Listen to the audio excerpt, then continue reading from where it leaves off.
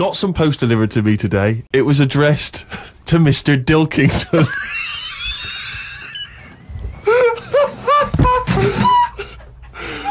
I don't know why that's so funny.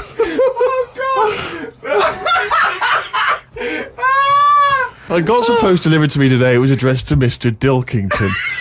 I opened it and the first sentence read, Dear Mr. K. Dilkington, you're one of our most valuable customers. I put it in the bin.